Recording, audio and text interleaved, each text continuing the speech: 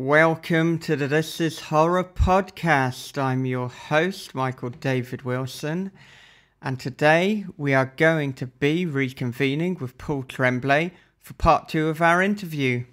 If you missed part one, then just head on back one episode to part 98, where we spoke to Paul about his new novel, Disappearance at Devil's Rock his novel of the year in the This Is Horror Awards last year, A Head Full of Ghosts, story ideas, the power of a Stephen King tweet, and much, much more. Now, before we get into the interview, just a quick word from the first one of our sponsors, Grey Matter Press. They're among us. They live down the street, in the apartment next door, and in our own homes where they stare back at us from our bathroom mirrors. Peel Back the Skin is a volume of horror that rips the mask off the real monsters of our time mankind. Featuring a star studded cast of award winning authors Jonathan Maberry, Tim Lebbon, Ray Garton, Graham Masterson, and many more. Peel Back the Skin is the powerhouse new release from Grey Matter Press. Get more info at peelbacktheskin.com. Okay, so that was Grey Matter Press talking about their new anthology, Peel Back the Skin. Lots of great authors on that, so if you haven't, then, yeah, do head on over and check it out. As you know, this is episode 99 of the This Is Horror podcast. So next weekend, which is Saturday the 2nd and Sunday the 3rd of July, we will be hosting a live podcast for episode 100 with David Moody we're just finalising the details, but it is looking like it will be on Sunday, the 3rd of July, at around 5 pm Greenwich Mean Time, running until around about 7 pm. And we thought that would be a great time to do it because at 8 pm it is the quarter final of Euro 2016. And if England have defeated Iceland, then they will be playing France. And so we know a lot of our listeners, and probably Dan Howarth more than anyone, would like to tune into that at 8 pm. So, yeah, 5 till 7. No conflict with England's match. If they even get that far. Who knows? Okay, so before we get into the interview with Paul, we have a second sponsor message, and this is from Perpetual Motion Machine Publishing. Cherrywood Lodge is haunted, and thank fuck for its ghost. Rebecca Malone has problems, not just alcohol. Her biggest issues start with the moment she discovers a chest of ancient Mahjong tiles in the basement of her new house, causing her life to spin out of control with hallucinations, sexual deviances, and grisly murders. Ghost dongs and haunted houses and demon orgies, oh my. Jessica McHugh's The Train Derails in Boston is now available online wherever books are sold. All right, fantastic message there for the train derails in Boston by Jessica McHugh. A novel that I'm very excited to start reading. Probably should have started already, to be honest. I mean, there's been goodness enough buzz about it, and I do hope that one day, yeah, maybe maybe even next month, we can get Jessica on the podcast. This might even be the first time that Jessica's finding out about this. I know she's a Patreon supporter, and I know that she listens to the podcast. But yeah, Jessica, let's do it. Let's get you on the podcast and run an interview. And of course, speaking of interviews, here we go. Let's get into it. Part two, the one and only Mr. Paul Tremblay. And now for our horror interview.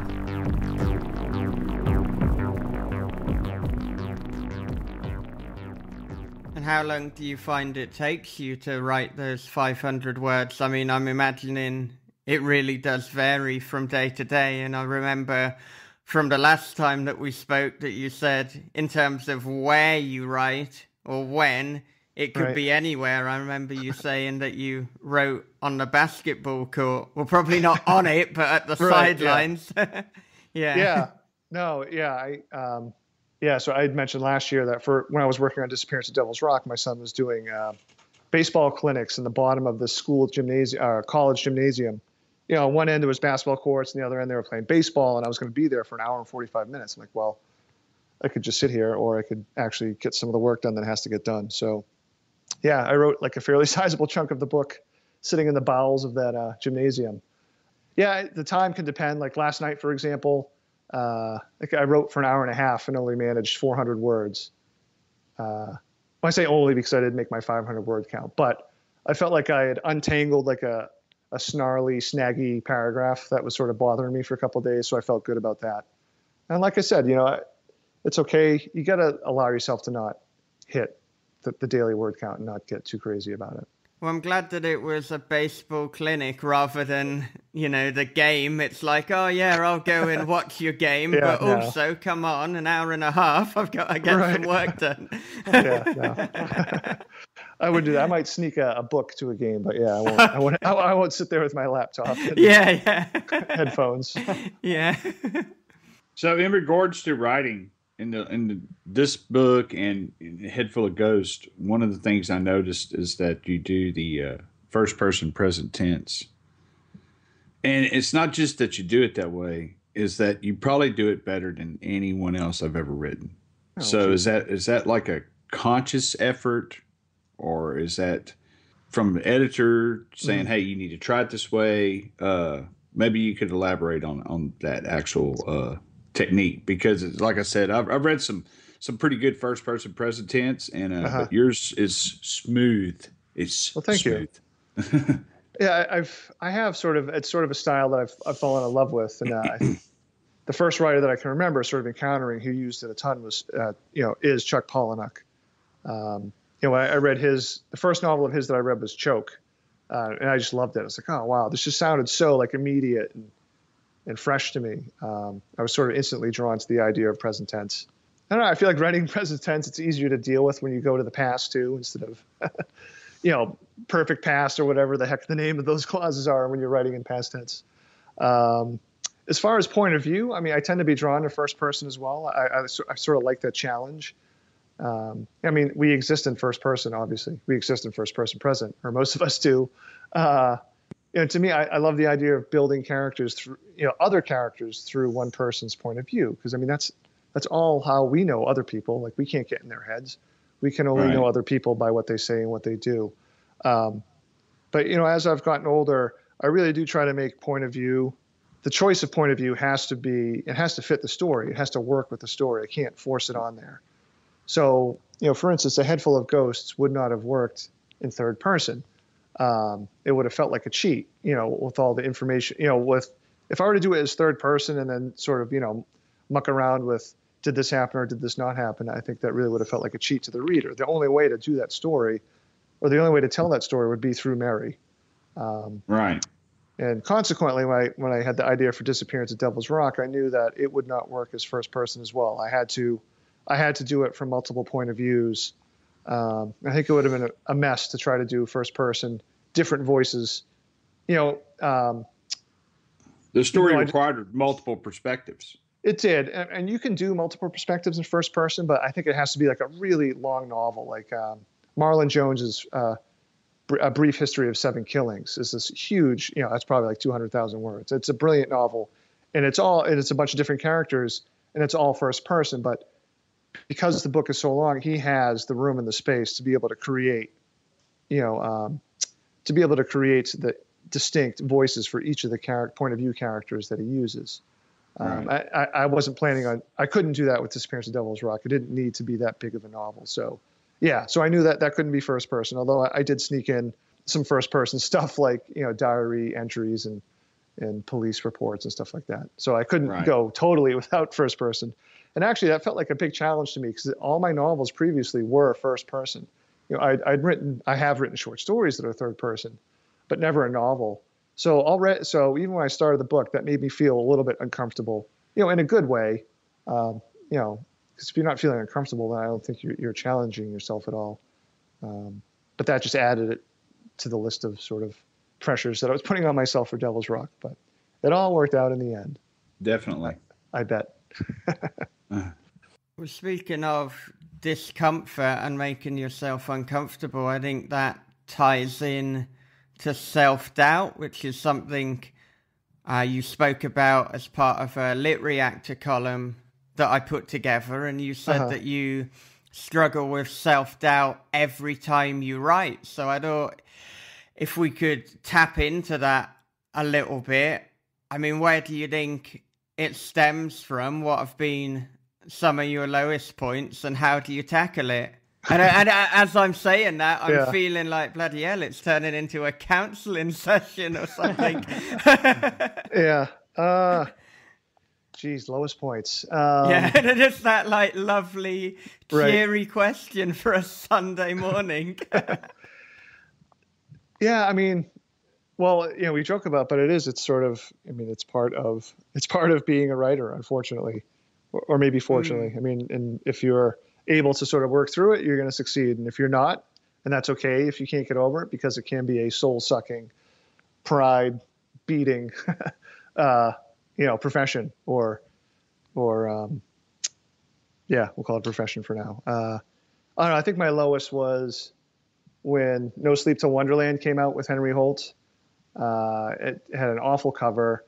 My edit, my the editor who acquired me had left. I mean, the editor I had after that was very good, but you know, usually when you get a when your editor leaves, you know, you're that's your champion for the book. Um, you know, that's the one who bought your book and you know who believed in you in the first place. You know, to put their reputation on the line to sign you. So when your editor leaves, it's it's usually not a good sign um, of things to come and also like the the publisher itself was going through a change in leadership and um, so this was Feb- the book was coming out February 2010 and this is when Macmillan who owns Henry Holt and you know a bunch of other publishers was fighting with Amazon over the price of ebooks and Amazon decided to pull all of Macmillan's books off their shelves for a week and that week happened to be my release week uh, you know so that just you know basically killed the book dead I mean I think it was going to be dead already but it certainly didn't help to to not have your book available the week it comes out on Amazon. Um, so that was definitely a low point, and Henry Holt was just kind of like, "Yeah, see you later." So yeah, I think I mentioned that LitReactor column. That was you know a year or two after that. I was pretty bitter and full of self pity, and it took a while to sort of you know to work out of that, to get out of that. It's funny though. I feel like he, you can remember sort of low points in books uh, that you're writing. Like with uh, a head full of ghosts, I sent my agent the first like 100 pages. Um, he was, you know, he's like, oh, this is pretty good, but you know, does it have to be first person? Which sort of threw me for a loop. I wasn't really expecting that. Um, and actually, it, it, you know, I, it threw me into like a, a mini tailspin for like three days where I didn't work on the book at all. It's like, ah, you know, because that's always like a precarious point in a novel, like 100 pages, because you feel like, ah, if I'm going to keep going, yeah, I'm going to go to the end. Or if I quit, you know, 100 pages, you know, I can work with that later or something like that. But, uh, That's a lot You of know, time and work investment. hundred pages. yeah, no, it is. So, you know, most thank- people who don't write, they don't understand that. It's like hundred Right. pages, two hundred more. You have a full book. Right. No, absolutely. So, you know, I luckily, you know, I took a few days off and sort of just recalibrated. It's like, well, you know, he doesn't know, like, he's only seen this part of the story. He doesn't know, like, sort of the twists that are coming or what I'm really trying to do with the book just yet. So I'm going to do it my way. It has to be first person, you know. So luckily, I'd had enough writing experience to believe in myself to be like, okay, this is how it's going to get done. So, you know, I just wrote the book, put my head down, and, you know, thought to myself, if my agent doesn't like it, you know, I'll deal with it later. You know, we'll deal with it if we come to that. To my agent's credit, when I sent him the finished draft of A Head Full of Ghosts, he stayed up all night reading it. And his email to me was like, I've never been so happy to write an email to say that I was wrong. Uh, and you were right. So he, you know, he, once he read the whole book, he understood, you know, which was very, you know, on- once that happened, I kind of knew, I felt really good that we were going to be able to sell the book and that it would do okay. So see, we, we started with dark points and we ended with a moment of triumph. Yeah, there you go. Ideal. okay, well, we have a question from Michael Wehunt. So he would like to know via Patreon in terms of audience craft and career intentions, what do you feel is the major difference, if any, between the writer you were when you wrote and published your first few novels compared to the writer who approached a head full of ghosts and beyond? I feel like you know, having gone through sort of the big publisher experience with Henry Holt and uh, it not being such a positive experience with a head full of ghosts, even though I was with a great new publisher and I love my new editor, I also knew that I sort of had to try to make my own I had to sort of, you know, not be like an obnoxious self promoter, but I did still, even with having William Morrow behind me, I knew that I had to sort of take advantage or at least reach out to the different people in within my network to try to get the notice out there. Um, you know, and I'm not going to get into any specifics, but you know, a lot of the good press that sort of happened with the Head Full of Ghosts were was indirectly a result of you know some people I know helping to get books to different people, and you know even the Stephen King tweet. I mean, this was wasn't something that I necessarily. I mean, I tried to get the book to Stephen, but sort of unrelated to my efforts to getting the book to Stephen King, I had two two uh, good friends who who were friends with Stephen King, and unbeknownst to me, they had sent him. They had both sent him a copy of the book and told him he should read it. So, I mean, that obviously that was amazing. So, I guess the short of it is, you know, the thing that I had in place with a head full of ghosts, and even if I wasn't actively using it, like in the case of two friends sending it to Stephen King, was just by the very fact that I had stuck it out so long. I should say so long. I mean, I, I still feel like a young person who's only started writing, but I really have been writing for 15 years, at least professionally. Um, you know, so I've, my name is has gotten out there, and dribs and drabs for a while, but it's certainly gotten out there. So when it was time to you know, or when I was fortunate enough to have, you know, these new books coming out with the big publisher, having sort of my name out there already in even the littlest ways was a big help. And so that certainly wasn't the case in 2009 when The Little Sleep came out. You know, part of that was they were trying to present me as a, as a crime writer, you know, just fine. It was my first crime writer or crime novel that I ever written. Um, yeah so otherwise i don't know. I honestly i try not to think too much about career other than just you know what's the next book that i'm going to do and write because i don't know if this is a comfort or not in some ways. It, it, feels like it's still so beyond my control. The only thing that i can control is writing the best stuff that i can. Yeah that's a very comprehensive answer. And i guess in terms of thinking about the career intentions what is it that you're kind of looking to achieve now? What would you like to do next? Uh, so I'm I'm I'm sort of I'm focused on hopefully the next two books, and you know I don't want to speak too ahead of sort of what's going to happen, but I'm hopeful that William Morrow will publish a short story collection and a novel.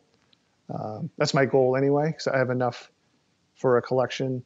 Um, I'm actually also planning on writing a couple of short stories that would be connected to A Head Full of Ghosts and Disappearance at Devil's Rock, which I think would be fun to have. After that, I don't know. I've sort of toyed talking to some friends who are into comics, maybe using one of the the novel summaries that I've written that wouldn't necessarily work as a novel, but maybe would be a fun comic. You know, maybe that would, might be kind of fun to mess around with. I'd also love to write go uh, write like a a comedy again at some point because I have written some hopefully humorous novels, and I don't know. I feel like after the next books that I'm working on, it might be fun to to leave you know the total darkness aside for a book and write something that's kind of fun. But we'll see.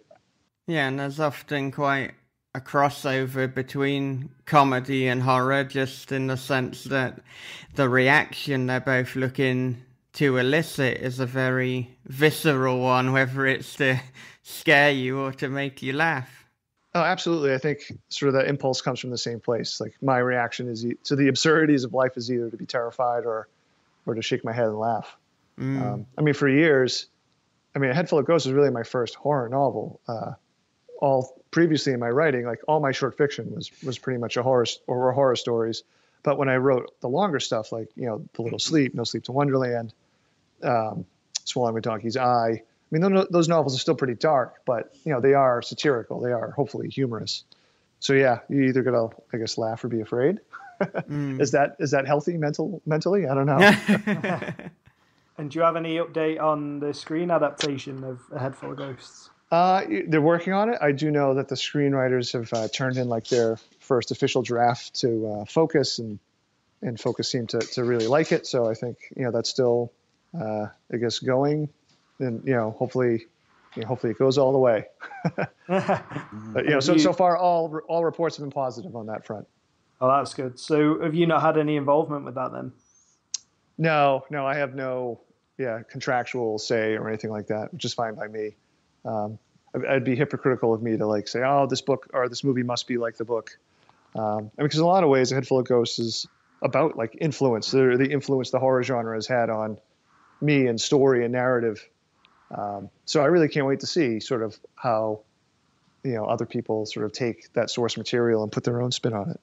See, I always think, find that interesting when you speak to different writers. You know, people want different, varying kind of levels of control over mm-hmm. how their work is adapted and where it goes once they've, you know, once they've put it into the world. So, yeah, I mean, you know, some people maybe more kind of control freaks than than maybe you are.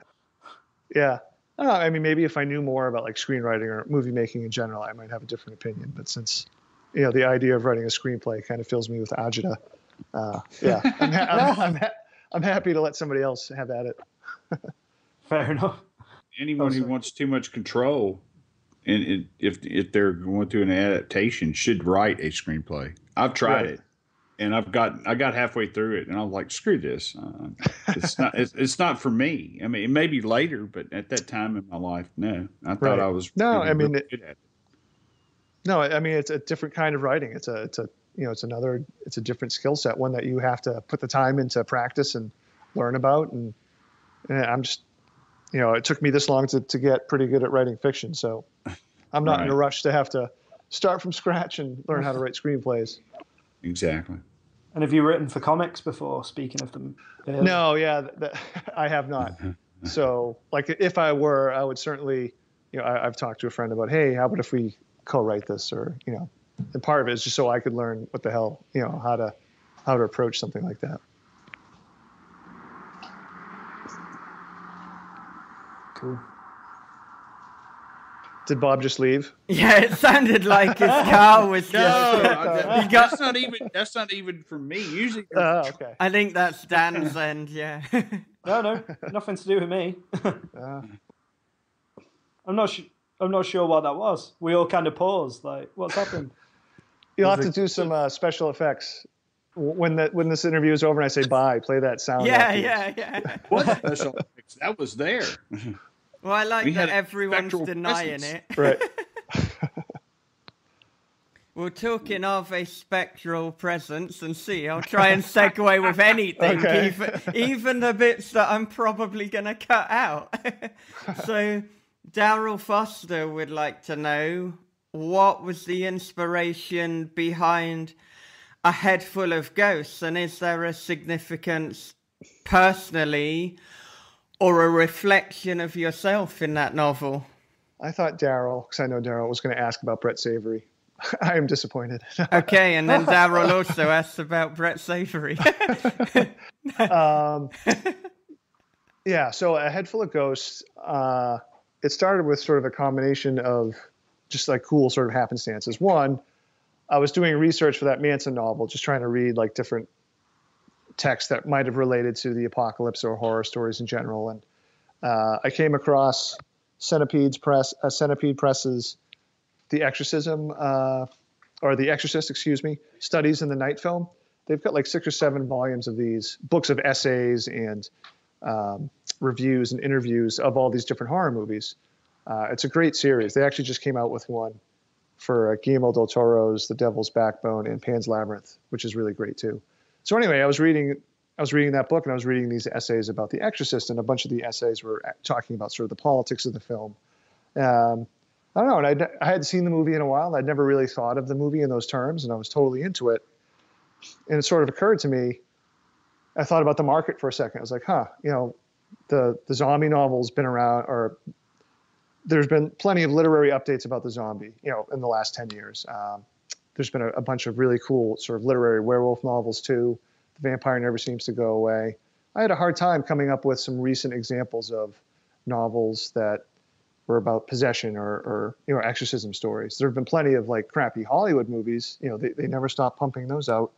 But uh, I, know, I really couldn't think of many books besides Sara Gran's Come Closer, which had you know been published ten years prior. So I started thinking, how would I write an exorcism story or a possession story? Um, and that's how sort of the ball got rolling. And initially, right away, I was like, I want to do sort of like a postmodern, secular, or skeptical approach to it. So in terms of my own piece to it, I mean, there's that part of it, the, the skeptic in me. Um, you know, so that obviously the story grew from there. Um, I don't know. I feel like every book's got pieces of me in it. You know, my, my daughter and son made their way into Mary quite a bit. My daughter was the same age as Mary's character was when I was writing the book. But some of the stuff that my son, you know, that uh, or his characteristics were really important to the novel as well. including his. Uh, my son doesn't like spaghetti sauce. uh, yeah, so it, it's funny, you know, when I finish these books, I don't have a hard time sort of separating myself from any personal details that might have made its way into the book because you know I have the images of who these people are in my head and they are not like they're not my friends they're not my family members. They they are these other people. Um, but it's funny to get the reaction from my family you know when they read it because like oh this is dad or this is this is Emma. I'm like no this isn't Emma. Yes I took some things but it's not her. Um, so I mean the pieces always sort of make their way in. They have to. Okay. And if you could give your 20 year old self some advice, what would it be? uh, don't drink so much Coca Cola. um, eat better. Actually, I'm eating better now. Geez, the 20 year old. I wasn't even a writer then, uh, and barely a reader when I was 20. I was, uh, geez, like a junior in college, senior in college, junior. I don't know. I mean, that kid just knew so very little about anything. I feel like I could I could tell him anything. uh, like, hey, you know, make sure you uh, remember to sharpen the blade of your lawnmower every once in a while. I don't know. I can't really think of anything other than, uh, yeah, I don't know. Sorry, I've awfully answered that question because I wasn't even like a writer at age 20. I, I was just uh, then I was I was super obsessed with punk alternative music you know, going to shows all the time, you know, which was a lot of fun. I mean, so I feel like that was sort of like, you know, the formative years of years later when I, when I certainly had a want to, to I, I had a creative itch, you know, a few years later. And that's definitely because of, you know, my really falling in love with music, you know, during those years. So there you go. There's an answer. Stick with music but start start writing at some point. yeah. Well, how how would your answer differ if it was to your thirty year old self? So at the point where you know you were relatively new to writing. Right. Uh, so I would tell my thirty year old self to not take edits and criticism so personally. I have since crafted what I call the 24 hour rule, which is indispensable for me. If anyone gives me a critique or even like bad reviews or but usually it's for edits or critiques. I, I, do not allow myself to respond for 24 hours, and I give myself those 24 hours just to be like a whiny, petulant baby. like, why they don't get it? You know, in my head, I can storm around like, oh, they don't get this. You know, they don't know what they're talking about. And usually, after the end of 24 hours, I can be rational about it and say, oh, you know what, this is actually right, or I can be more rational and say, you know, I think I can see what they're saying, but they're wrong you know, because when I first started, I, I, definitely made a few mistakes by responding to edits in not a good way. Um, you know, you, you, have to learn the hard way, I guess. Um, and I guess the other thing I would tell a 30 year old me would be to not worry about what other writers were doing or accomplishing and don't waste time being jealous because it doesn't help. Yeah, and I think the 24 hour rule. I mean, it, it's good for a lot of areas of life. I mean, if yes, you, if you get an email or a message and you kind of have a knee jerk reaction to it, particularly a negative or angry one, just right. step away from the computer, maybe go go for a walk, calm down, have a think about it, and then decide is that really what you want to send? I right. mean, no, absolutely. Some, sometimes maybe it is what you want to send, but you know, make make sure that that is the case because you know you can't really recall those messages, not anymore anyway. Right. I think it's no, a case there's... of is it what you should send rather than what you want to send. Yeah, yeah, right. yeah. Now, there's definitely obvious. I mean, it's obvious. There's something about uh, the electronic uh, format of communication that sort of is a direct main line into uh, anger. yeah. I, I, mean, think. I mean, if you're going to have it, you know, when I think about the editing sort of conversations I've had with people, I definitely don't react the same way. Like, it's just there's something about seeing it and being able to not, you know, not having that person in front of you to see their facial expressions, or even just to have that person there, for some reason that just I guess makes us want to jump to anger. I mean, you can just look at Twitter and comment sections just to see, you know, see that ugliness play out all the time. See, there's no 24 hour rule there. No, there is not. There's a 24 second rule. hey, that's my rule for food on the floor. Yeah. Although 24 seconds is probably too much. Yeah, I thought it was the two second rule. Yeah, I guess it's normally five. yeah. I yeah, I Five since was reasonable. yeah. It depends hell. if, it, if it's a peanut. If it's a peanut M and m there's no time. oh, it's like a 24 hour rule. Yeah. yeah, exactly. What is this saying about the podcast that the two discussions where we've all been so excited that we had to interrupt one another? It's food on the floor and the pronunciation of choosing. Yeah, I guess it's horror writers. I guess looking for always looking for their next meal. Yeah. We're talking of food. I believe, Bob, you've got a question that could Well, yeah, tie it's in just- nicely to that. What would it? You know, uh, with Stephen Graham Jones and you, what what's the deal with the pickles? I I- just got to know. yeah. I got to know. Stephen gave me a really good pickle story, so I want a good pickle story from you. Oh yeah. All right. Well, I just, I I mean I've always hated pickles. Just like really hated them. I I, I was a very picky eater as a child. I mean I didn't like anything, but uh, my hatred of pickles has always stuck with me. Uh, I will tell you the strangest pickle story. Um, this is not like this is not pickle zero, like patient zero. This isn't why I hate pickles, but uh, or maybe it is. I don't know. Anyway, uh, I was very young, probably like seven or eight, and my one of my friend's older sister, who was in high school, was babysitting us. My sister and I, actually the three of us. My brother was really little too, and I remember being in bed and I hear giggling. Like, so my babysitter and one of her friends, and they must have been high or something, but they woke me up. They had actually they were they were sticking it. They stuck a pickle into my ear while I was asleep. I was an eight year old asleep, and they were giggling and sticking a pickle in my ear. And I was like, "Oh, stop it!" Um, I I forget like that wet ickiness in my ear. It was awful. So there's your pickle story right there. That would be pretty gross. Yeah, I think I got her back next week. I flashed her, Jesus. or maybe that happened before the pickle. I don't know. And the pickle was revenge for my flashing her. yeah. I was only eight. I cannot be held responsible for these actions. Yeah, that's anything under thirteen. You just you know, there's no responsibility there. Pickle in the ear. See, that would that would probably gross me out because I don't even like Q-tips in my ear. oh, really? Yeah. So I mean, it's like you know, well, of course, you know, you hygiene and all that. You got to do that, but it's just you know, it's always been a, like a, Ugh, you know. Well, try yeah, maybe that- try a pickle. I don't know. Maybe after the pickle, the, the Q-tip won't seem so bad. Uh, so it's it's a tactile thing. Hmm. Yeah, That's weird. That's very strange. it is. Well, away from pickles and things that make you unhappy, what makes you happy in life? I'm just laughing. It's, you know, we should juxtapose that with the, you know, the darkest moments in writing. Yeah, yeah. What makes me happy in life? Yeah, I'm- see, I'm, I'm just like analyzing all of the Yeah. little facets and areas. Uh, I mean, I mean, my my family makes me extremely happy. They're a lot of fun. My kids are, are very cool kids. They're extremely nice somehow, despite having me. Partly because no one's ever stuck a pickle in their ears. Yeah, I think yeah. that's what that's what that's what turns you. Mm. Uh, it's like Wolfbane. um, I don't know. Uh, honestly, um, I wish more writers, and I think a lot of horror writers find this. I wish more writers in general have sort of found uh, the warmth and community that I have found with the friends that I've made, you know, over the 15 years writing. I don't think there's any way I would be sort of the writer that I am without the support of so many friends and so many other writers.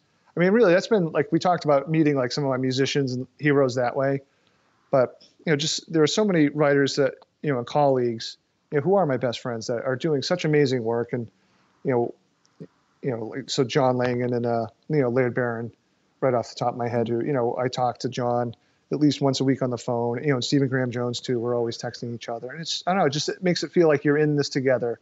You're all working toward doing the same thing. Um, Right.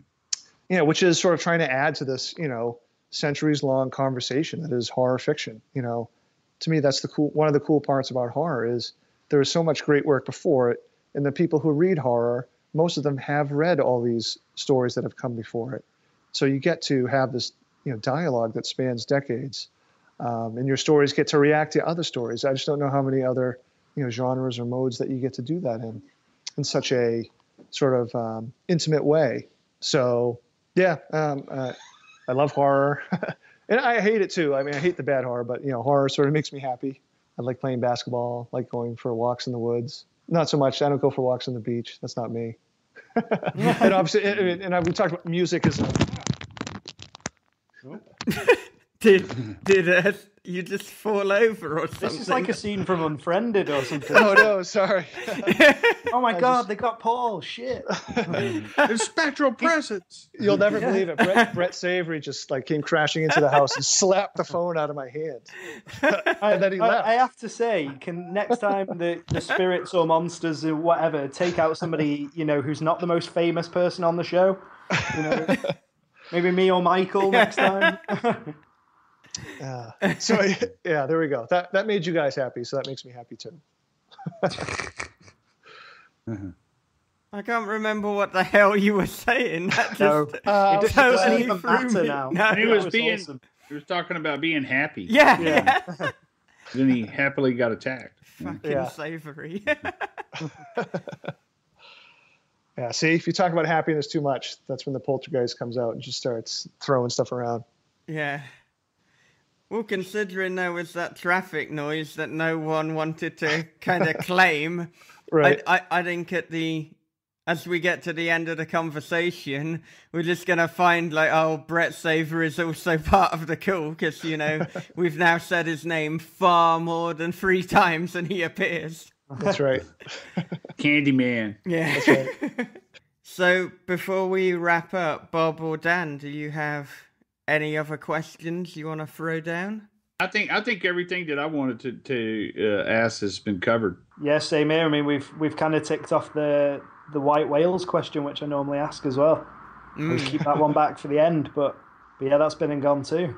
Yeah. What's the white whale question? Um, essentially, you know, what what are you, you know, what are the white whales in your career so far? You Oh, know, I what, see, yeah, what yeah. else would you kind of like to achieve? But Right. you know, we've we've kind of ticked those off, Sure. you know, through the course of other questions. God damn it! All right. Unless you want to ask a new white whale question, which is about a literal white whale. You know, what what what would you do if you were confronted with a white whale? You know, on a little raft boat. I don't, yeah, I don't see myself ever being in a little raft or boat. no. Uh, at least not that far out. Yeah, it's a highly specific hypothetical. Yeah. well, what are two items that you can't live without? You know, obviously besides uh, my family, etc. We'll, we'll talk about like non-essential. Yeah, I'm not. I'm, I'm not sure that you should see your family as an item, really. Right, Or no, non-essential. Sure. Right. Yeah. obviously, You know, like water. You kind of need water just fine. But uh, uh, I mean, for me, it's music and reading. Uh, you know, not necessarily that order. I, I have to be reading something. You know, otherwise, I feel like my writing suffers. I feel like I get, I get dumber or dumberer if if I'm not reading. Um, yeah, and I just get so much inspiration from music. So many of my my own titles have come from you know lyrics or whatnot. So writing and writing and reading, or excuse me, reading and music. Do you listen to music when you write? I prefer silence, but if there's stuff going on, I'll put on headphones. And if I listen to music, it has to be instrumental. I can't have lyrics because the lyrics will distract me because I'm a fan of lyrics and I, I would focus in on those. So with the Head Full of Ghosts, actually, I wrote, uh, I almost always started with uh, the soundtrack to the movie Ravenous. I don't know if you've seen that movie. It was uh, came out in the late 90s. It's a great movie. Love that movie. Love Yeah. it. Yeah, and it's such a quirky soundtrack too. So um, I've listened to that so many times. It's you know it's it's total background music for me. So it's it's good to listen to. I've also bought some other. I've started using the Witch, the soundtrack to the Witch, which is really cool, um, and the soundtrack to It Follows as well. Oof. It follows we, soundtrack get, gets to me. I can't. Yeah. Uh, there's only certain cuts off of it I can listen to. Yeah, I think we were discussing that in the in the Patreon episode, weren't we? When we were talking about Oh, yeah. music that we write to. But the witch, the witch soundtrack is is uh, rather creepy too. Yeah, no, they they definitely are. So I use that for inspiration. But when I'm writing, especially at night, it's, oh, ooh, ooh. turn on the Yeah, lights. Yeah, if I was by myself in the house, I, I would not be listening to those two soundtracks.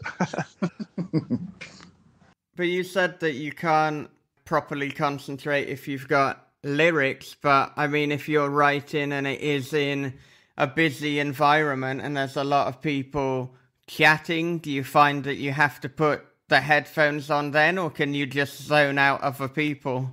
I can do a little zone out, but if it is like going to be chatty like that, I'll I'll definitely that's when I go to the headphones. Mm. All right, and where can our listeners connect with you? Uh, well, so my I guess my, my website is paultremblay.net. Uh, I'm on Twitter at Paul G Tremblay. You know, I'm, I'm on Facebook as well. Yeah, I'm pretty much just out there in the internet ether, staring back at you. And before we go, do you have any final thoughts that you'd like to leave our listeners with? Uh, geez, I would since I mentioned my friends John and Laird, I would say do keep an eye out for their new books coming out. Uh, John Langan's the novel, novel The Fisherman is fantastic. It comes out in a few weeks from Word Horde Press, and Word Horde is just doing such amazing. Uh, it's putting out such amazing books.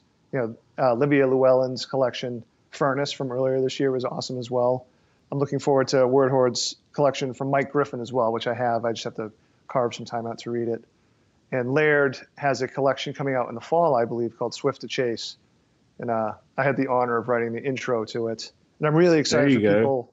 Yeah, I'm really excited for people to read this collection because it definitely reads like, you know, it's recognizably Laird, but at the same time, um, he's going in a little different direction. Like, it would be easy for him to just to sort of try to repeat all the the cosmic Lovecraftian horror stuff that he you know did in sort of his first couple collections. And in this collection, I feel like he really sort of stretches and expands. And man, uh, it's great. It's just really great. I think it's his best collection.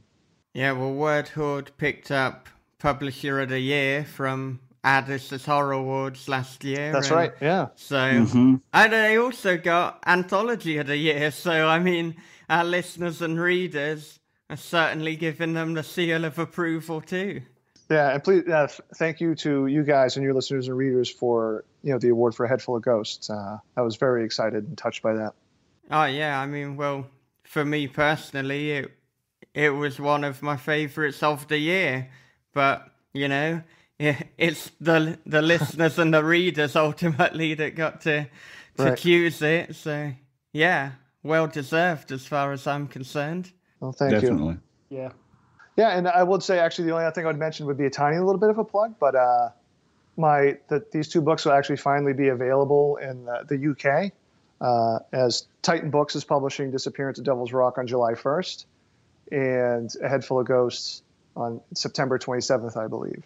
So I'm very I'm very excited and happy that the books will be available in England and Ireland and Australia now. Yeah, and Titan has been a lot of fun. They sent me they sent me a bunch of free stuff, including uh, some awesome Hannibal TV show Hannibal a book, and they sent me four little figurines. So I was totally geeking out because Hannibal is my favorite TV show of the last, you know, last few years. That's one thing I noticed about Titan whenever I was writing for uh, Manarchy is we did a, a lot of uh, reviews for that. They they love to send out stuff. It's amazing. Yeah. You ask for one thing, you get a box, and you're just like, "What's all this? Oh my god! Uh, I wanted something about Dead Space. They sent me everything." nice. you know. So yeah, just I'd, I'd keep a good relationship with them. Oh yeah. No, I've been very happy. Uh, I know. I, I they asked me if I'm getting over to England anytime soon, and I don't know, maybe next summer. Well, I'll try to shoot for that. Sounds awesome. Yeah, that's a a little spoiler then, perhaps for the future in the UK. There you go. Yeah, it's it's interesting how there are still quite a number of deals where the publication is exclusive to the US, so that you then have this unusual situation where people have their book in the US published by one publisher and then in the UK by another. And I you'd kind of think, particularly as things are getting more digital and it's easier to distribute things globally anyway, that soon there'll be a complete stop to that.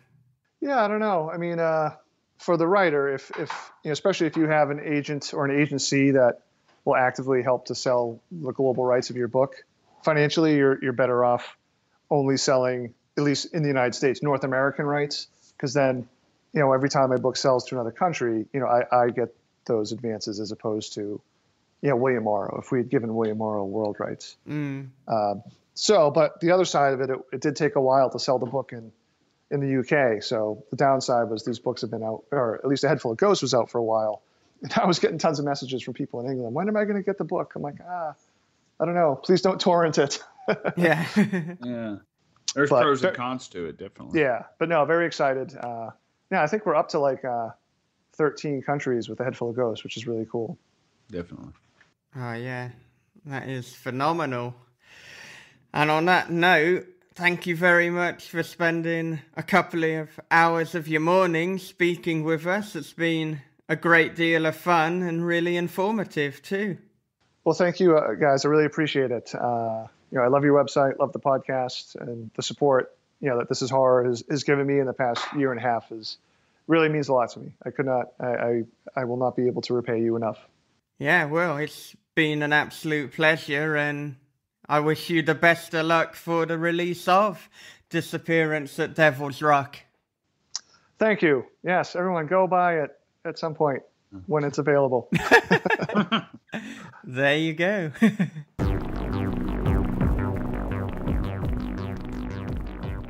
Thank you for listening to episode 99 of the This Is Horror podcast with Paul Tremblay.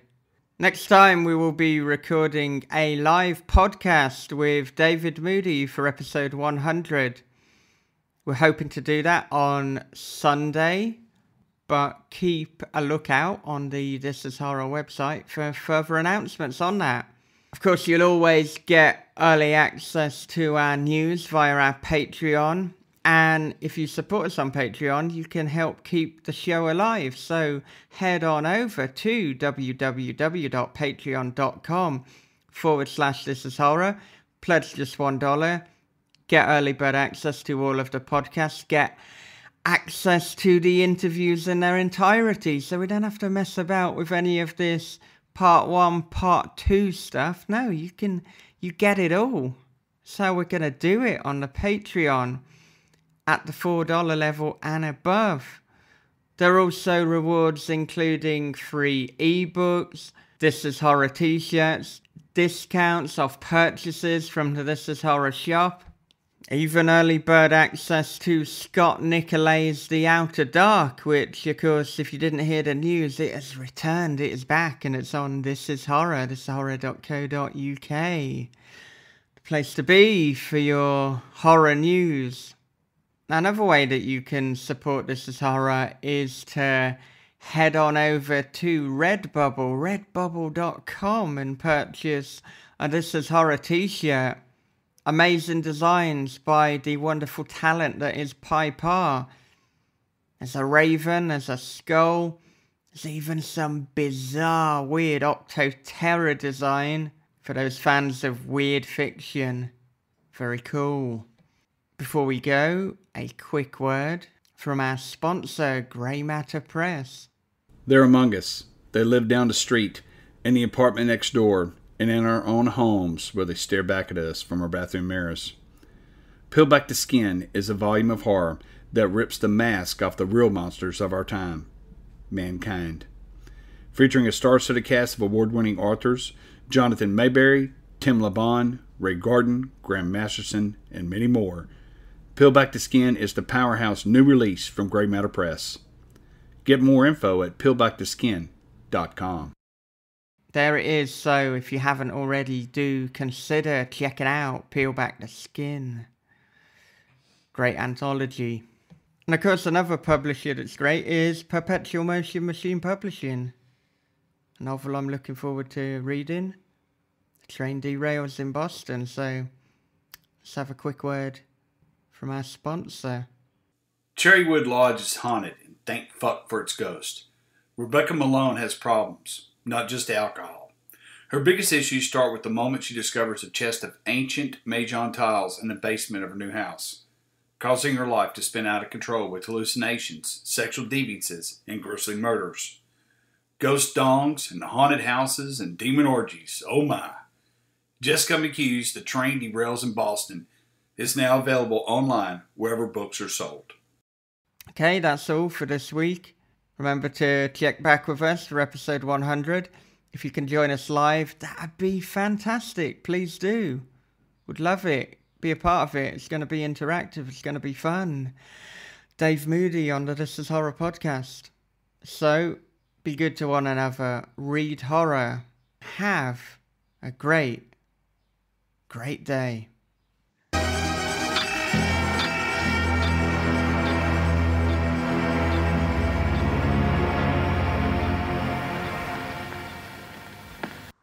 Okay, good. Dan, go and So- paint your house. Will do, mate. Add some some dust at the base. Is that what you hear when I do that? Could be. See, you, you know, you can't move dust on this podcast. All right, I'll quit touching it. okay. That's good. That's good advice for life. Quit touching it. Yeah. Have we got that on the, out- Yeah. the outtakes, Michael? yeah, yeah, that's that's going in. They can expect uh, three podcasters for a British podcast touching the microphone too often. I'm just kidding. um, sorry, inside joke. I don't know if the, the microphone stuff will make the cut. But anyway, uh, from the top. Oh no. Okay. Uh, He's, sure. he's a harsh taskmaster, is Michael. well, I'm, Yeah. So, so when I when I go on Brett Savory's podcast, I'm totally attracted yeah, I, I like that. You know, in the space of an hour, we've evolved from Brett Savory doesn't have a fucking clue about modern technology to creating an actual podcast for him. Yeah, I'm you know I'm assuming once he hears this podcast, he'll learn about it. Yeah, yeah, that, that makes a great deal of sense. there you go.